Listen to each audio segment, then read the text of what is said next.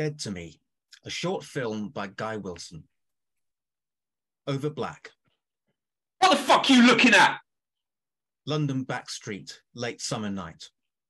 Clive, stocky cockney, late 20s, is bow-legging his way down the middle of the road in a top-of-the-range Superman costume, proper fuming. He glares over his shoulder at a drunken couple, norm- normally dressed, passing by on the pavement. Oh, Go fuck yourselves! don't worry, we will. Clive kicks a parked car. The alarm goes off. Oh, shut up, you! He carries on stomping down the middle of the street, now with a slight limp. Clive, Clive turns to register the distant voice, then quickens his pace, cape horizontal, ready for flight. Clive, please. Sound of high heels in running battle with pavement. Pavement wins. Oh, the fuck! Oh, I've gone and twisted my ankle now. Serves you fucking right! I'm sorry. I'm sorry. I've said I'm sorry. He barrel chests his way to a T junction, where the back street meets a main road. A white car zooms by just in front of him, and he stops, teapot arms. The car alarm ceases.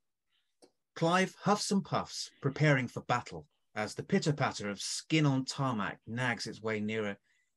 Wonder Woman arrives, half running, half limping, empty red wine glass in one hand, black high heels in the other. A leg warmer missing. She's drunk and teary-eyed, mascara and makeup running. Hands dripping with spilt red wine, her crown slipping. She clumsily grabs at Clive's red cape, trying to pull him to face her. Get the fuck off me, you fucking slag! He retrieves his cape and turns his back on her again. Please, Clive, please. I didn't mean it. It won't How can you not fucking mean to fucking suck some fucking cunt's cock? He turns to face her, red as his cape. I'm sorry. I'm so sorry. You're, you're a fucking mess. She drops her shoes to the floor and starts trying to put them back on. Clive reaches up to scratch his head, forgetting he's wearing a Clark Kent wig. It comes off in his hand. He's as bald as Lex Luthor. He chucks the wig into the main road. His other half has managed to squeeze her foot into the left shoe, but fails in her attempt with the right, almost toppling over. Clive laughs. She takes this as some kind of affirmation, slowly standing upright, the equal of Clive's height. She reaches out her arms for the support of his shoulders, smiling coyly. Help me. With a snort of disdain, Clive crosses his arms. She bites her lower lip, then lurches towards him, a zombie nearing its prey. You're dead to me. Clive brushes her arms to the side. Her one heel buckles and she topples into the main road. A black cab passes in front of Clive. He reaches desperately to get to her in time, Chloe! but has to jump out of the way of the car himself.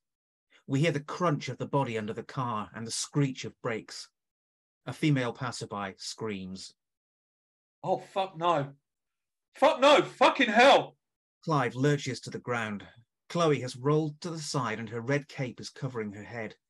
He's about to roll her towards him when Don't touch her. Clive stops, his hands frozen above her body. He looks up momentarily to locate the voice of the passerby. No, no. Yeah, yeah. He scrambles around on his hands and knees to get to the other side of Chloe. Get out of the road, you fucking idiots! A red car has pulled up in front of them. The beam illuminates the scene. Clive looks up into the headlights and is briefly blinded. Oh God. Is she?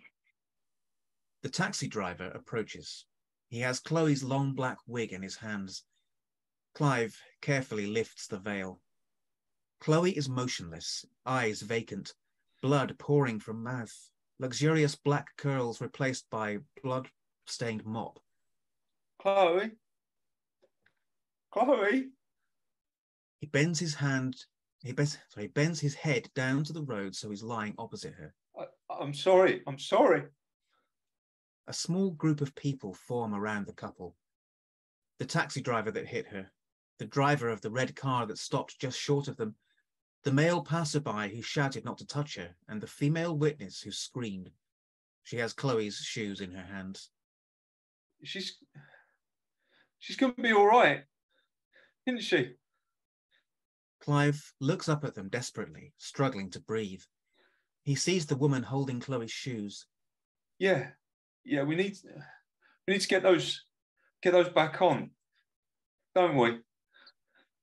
He gets up groggily, his spandex ripped at the knees. He staggers towards the woman. She shuffles backwards. Uh, she just she just wanted me to help her. Put them on her. He reaches for the shoes. The woman recoils. She glances at the other men, then reluctantly hands over what he wants, making sure his hands don't touch hers. Clive sits by Chloe's feet. He starts putting on the right shoe, the one she'd asked him to help her with. Calmed and entranced by the tender act of denial, his breathing softens and his voice becomes childlike. There you go, Clive, Clive. Don't want your footsies getting cold, now do we? The male watches on, exchanged concerned looks. The lady looks on with disgust. Clive delicately fits the right shoe on, but becomes paralyzed holding the broken heeled left shoe. He numbly strokes the snapped heel. Blood trickles down the road's white line. He lurches forward and throws up. Vomit lands on Chloe's legs. Oh God, I'm sorry, darling. I'm so sorry.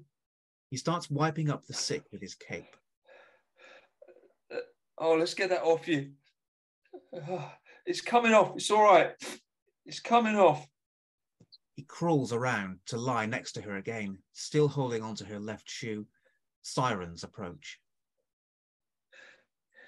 You're so beautiful. He reaches out to wipe blood soaked hair from her face, then stops himself. Can I touch her now? Can I touch her now? Please. Yeah, mate, you're you're all right. You're all right. Thank you. He wipes the hair from her face. Blood smears his silver wedding band. We hear a police van and ambulance arrive. Clive puts his arm around Chloe and hugs himself to her chest, a baby nursed by dead mother. Voices muffle around them. Sirens distort to heartbeat shrieks. I heard him say, You're dead to me. Then he pushed her into the road. Okay, all right. Footsteps approach. Two medical gloved fingers press against Chloe's neck, then let go. Heavier footsteps. Black boots encircle the prostrate couple. Come on now. We're placing you under arrest. You do not have to say anything. Clive's hand is taken away from Chloe's body and handcuffed to the one holding the shoe. No. No. Clive removes his face from Chloe's bosom and looks up at the policeman and policewoman looking down at him. The policeman pulls Clive to his feet as he resists. I can't leave her. I can't leave her. You killed her, you bastard! The No! policeman- No. female witness. Clive's legs give way. The policeman grabs him under the arms and starts dragging him towards the police van. Clive strains his neck to keep Chloe in his sight, clinging her black shoe to his chest with his handcuffed hands. I didn't mean to. I didn't mean Oh, to. you should have thought of that. The female witness breaks free from the policewoman, runs towards Clive, and spits at his face. Hey! The policewoman restrains her again. The spit lands on Chloe's black shoe. Clive wipes it off on the Superman symbol on his chest. The policeman reaches the back of the van and drops Clive to the floor. Chloe's mangled crown is just out of his reach. Flat on his back, he shouts to the sky. I love you, Chloe. I love you. The camera floats up and up above his prostrate body, above the van, above the scene of destruction.